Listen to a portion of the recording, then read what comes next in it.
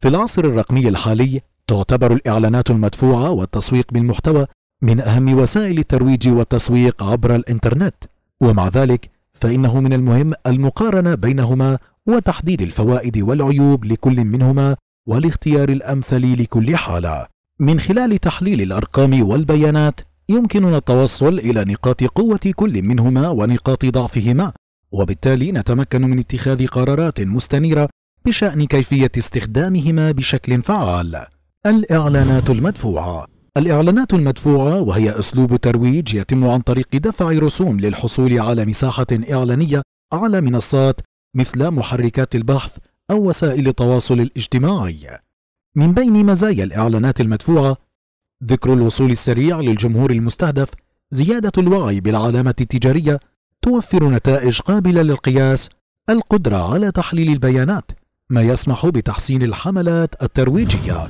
العيوب ارتفاع التكاليف، قلة التفاعل، تنافسية السوق، قدرة المستهلك على تجاوزها أو تجاهلها بسهولة. التسويق بالمحتوى هو استراتيجية ترويجية تهدف إلى إنشاء ونشر محتوى قيم ومفيد يستهدف المستهلكين. المميزات بناء علاقة قوية مع الجمهور المستهدف، تعزيز الثقة بين العلامة التجارية والمستهلك، تعزيز مكانة العلامة التجارية كمصدر للمعلومات الموثوقة والخبرة، استراتيجية مستدامة، حيث يمكن للشركات الاستفادة من المحتوى المنشور لفترة طويلة وتحقيق نتائج طويلة الأمد. العيوب يتطلب جهودا مستمرة لإنتاج محتوى جيد وجذاب. يأخذ وقت حتى تظهر نتائج فعالة. للاختيار الأمثل بين الإعلانات المدفوعة والتسويق بالمحتوى يجب أخذ العديد من العوامل في الاعتبار. تحديد أهداف التسويق، تحديد الجمهور المستهدف، تحديد الميزانية المتاحة. إذا كان الهدف هو الوصول السريع وزيادة الوعي الفوري بالعلامة التجارية، إذا الإعلانات المدفوعة الخيار الأفضل.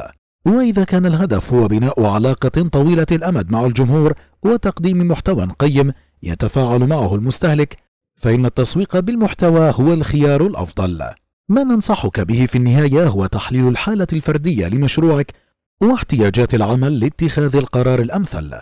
وقد يكون الجمع بين الإعلانات المدفوعة والتسويق بالمحتوى استراتيجية متكاملة للوصول إلى الجمهور وتحقيق النجاح.